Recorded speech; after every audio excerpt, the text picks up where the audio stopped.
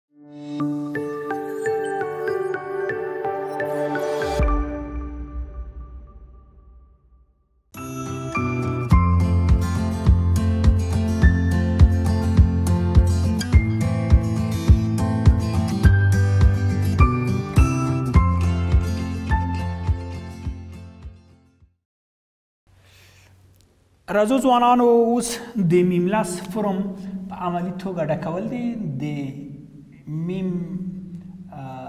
لاس فورم چې ډکول د دې ایم ایم لاس فورم فورم ډکول چې دی تاسو سکرین د ریکارډ ته متوجه شئ په لومړی کې ما لیکلي د افغانستان اسلامي جمهوریت د مالی وزارت د خزاینو ریاست ته د میملس فورم الف برخ ا الف په برخه یې چې د دغه برخه د حوالجاتو د دفتر له لوري ډک کیږي چې موږ په تیر درس کې تیر ویډیو کې د هغې په تې مراحلو کې د میملاس فورم په ترتیب کې چې کله موږ تعهدي اسناد با خلاص کړه د هغې منظوري ما خلاص کړه چې کله د ترتیب د میملاس فورم ته موږ راورسېدو نو موږ د میملاس فورم د حواله جاتو دفتر له طریقه د چیش له طریقه د حواله جاتو له طریقه د حواله جاتو له طریقه تاسو ګورئ دلته مونږه د مدیریت حواله جات یعنی د ترتیب فرم د میم لاس فرم چې دی د حواله جاتو د فرم له طریقه مونږ چک او ډکو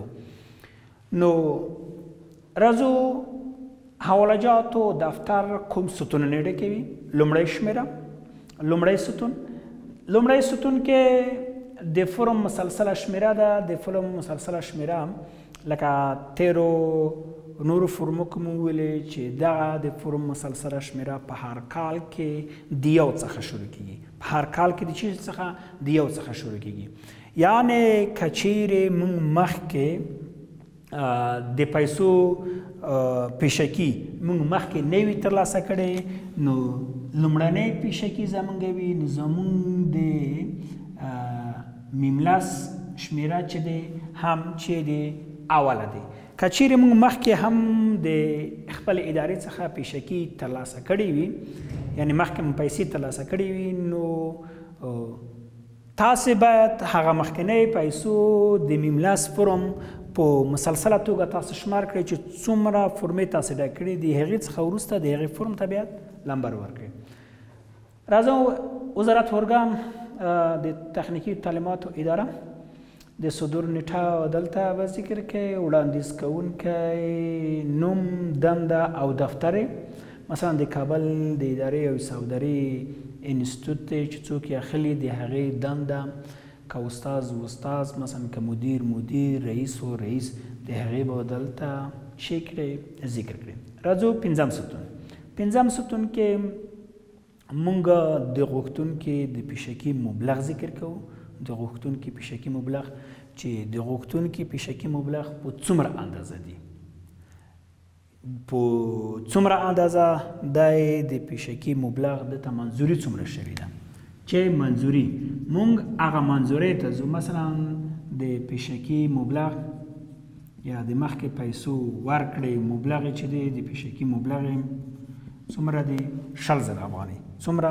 شل زره افغاني دی ترلاسه کوي دغه منظوري شل زره افغاني اخیستوه راځم شپږم ستون ته د تیرو پیشکیو میزان آیا مخکې خو دغه شخص یا دغه ادار دغه شخص خو مخکې هم پیشکي به نه وه ترلاسه مخکې پیشکي ترلاسه کړې وه که چیرې پیشکي ترلاسه کړې وه نو د هغې سره دغه جمع کوي چې مخکې څومره ترلاسه کړې وه او دغه ورسره چې کوي اضافه کوي چې شتون نه لري نو دلته به ولې کې چې شتون نه درلود که چیرې درلوده څومره وه هغه اندازه به یې د دغه ستون کې چې کې دغه ستون کې به یې ذکر کې راځئ د پیشکي پل چې دی د پیشکي پل آیا ته د پیشکي پل د معاش دی د خریدارۍ دی د سفر دی او یا غره و یا همداسې نور نو دلته به ته چې کوې مشخص کې چې مونږه د خریداری کړې وه نو مونږه دلته چې کوو خریداری ټیک مارک کوو چې خریداری ټیک مارک کوو کله چې دغه خلاص شو که چیرې د معاش خریدارۍ یا د سفر لپاره نور نوی نری نور مشخص کړئ نو دلته به هغه که بدون د دغو نه وي نو هغه به ولیکې چې دلته به ولیکې چې به ولیکې چې نه هغه د خریداري وي نه د معاش وي نه د سفر وي دلته به ولیکې مثلا لیکې د ترمیم لپاره مونږ د ترمیم لپاره ترسره کوو د چی شي لپاره د ترمیم لپاره موږ د تعمیر د جوړولو لپاره مخکې له مخکې پیشه کی یا موږ د یو قرارداد مثلا موږ د چا کیندل لپاره د خپل ادارې مخکې له مخکې پیشه کی ترلاسه کوو نو هغه به دلته ته چی کې ذکر کی راځو اتم ستون اتم بش کې د بیرته ورکولو ډول د بیرته ورکولو ډول چې د پیشکی تا تر لاسه کړی ده بیرته څه رقم ته دوباره تخپل ادارې ته چی کوي تادیه کوي نو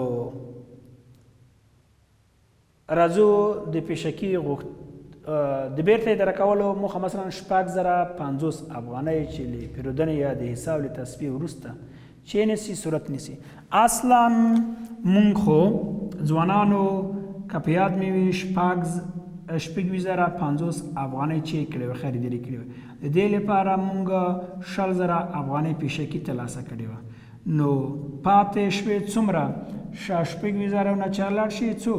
شپږ بخنه غواړو شپږ زره شپږ زره څو پنځوس افغانۍ نو شپږ زره پنځوس افغانۍ موږ سره چې موږ په اداره باندې پیسې پاتې شوي دي او یا که چیرې اضافه وي نو موږ دوباره دولت ته چیک کوو د هغې تصفیې حساب ورکوو راځو د پیشکی غوښتنې موخه مثلا موږ د چش لپاره کړې و دغه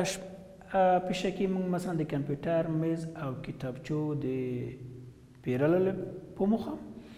یعنی د قرطاسې لپاره موږ تر سره کړې و چې شل زره مونږ پیشکی ترلاسه کړه او شپږ زره پنځوس افغانۍ نورې پاتې شوي دي. د هغې حساب تصفیه شوی نه دی تر اوسه پورې. د هغې نور حسابونه باید هم چیک کړو، تصفیه کړو، د هغې لپاره باید پیسې د دولت څخه واخلو او هغه حساب یې بیا چیک کړو، تصفیه کړو. رزو لسم بخش ته لسم ستون کې مونږ حسابي کوډونه لرو ان تغد تخصیص شمیره دلته مونږ په اختیاري ډول لیکلي مې دي دلته مونږ په اختیاري ډول لیکوم کوډونو چې استفاده کوو د دې لپاره چې د ادارې کوډ راته معلوم نه دی نو مونږ شکل د اختیاري تنغو د ستاسو لپاره د ستاسو د زده کړې لپاره مونږ په شکل دلته د اختیاري کوډونه وهلي دي د اداري تعلیمات تخنیکي او مسلکي رزم د اورګان کوډ د اورګان کوډ څلور رقمي مثلا د اداري تعلیمات تخنیکی مسلکی د اورګان څلور رقمي شمیره مثلا یو دوه یو دوه درې څلور مثلا دولس څلور دیش یو زر دوه سوه څلور دیش هم ویلی شو که چیرې وي دا اختیاري دی د پروژې کوډ مثلا شپږ پنځوس زره پنځل پنځه میلیون څلور شپږ لکه درې څلوېښت زره اتاویا که چیرې وي د برنامې کوډې یو سل اووه مثلا د پنډ کوډې نه اتیا اووه سوه پنځه شپېته او همدارنګه د تصنیب کوډې د څلور سوه درې پنځوس څخه چې وي دغه ترسره شوي وي دا په شکل د اختیاري مالک کیلي دی چې چون په نورو فورمو کې موږ نه و ذکر کړي په همدې خاطر په دې فورم کې مو ذکر کړي چې د خاطر د زده کړې لپاره دی راځو یولسم غوښتونکي لاسلیک او نیټه ده د کومه اداره دغه پیشکي ترلاسه کوي د هغې ادارې نوم لیکي مثلا د کابل د اداري او حسابداري انستیتوت د اداري مدیر لاسلیکي کوي، د دفترداري مدیر دلته هم نوم لیکي، هم لاسلیک کي او هم نیټه لیکي. ب برخه ب برخه چې ده دا برخه باید صلاحیت لرونکي مقام لوري د چه شي لوري د صلاحیت لرونکي مقام لوري باید ډکه شي. ځکه چې موږ ته د دې فورم منظوري صلاحیت لرونکي مرجع موږ ته د دې فورم چیرې کوي د دې فورم منظوري ده کوي نو مرکزی اداری تخنیکی و مسلکی تعلیمات و اداری هغه مقام مونږ ته د هغې لاسلیک او امضا او نیټه پکار ده وروسته د څوارلسم ستون د پیشکي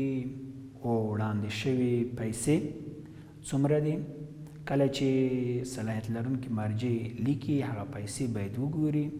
یو ری مرور او کتنه پرې وکړي شل زره افغانې پوره شل زره افغانې دغه عدد چې کله موږ شل زره افغانې لیکو هم باید په عدد ولیکل شي هم باید په حروفو هم باید ولیکل شي راځم جیم بخش ته د جیم برخه د پیشکی وضعیت دی د چه شی وضعیت دی د پیشکی وضعیت دی راځم پنځلسم ستون نیټه ده چې شی د نیټه ده دلته مونږ نیټه ذکر کوو ورسته د هغې څخه د سند شمیره د سند شمیره زمونږ چی دی مونږ چې کله میملاس فورم لپاره مونږ د تادی امر اخلو نو د سند شمیره زمونږ چو ده میم شپاړس فورم هم باید ورسره چی شي زمیمه چی شي زمیمه شي باید دا ورسره چیک او زمیمه کړو کله چې دغه کار مونږ تر سره ک یعنی لمیم شپاړس پروم هغه شمیره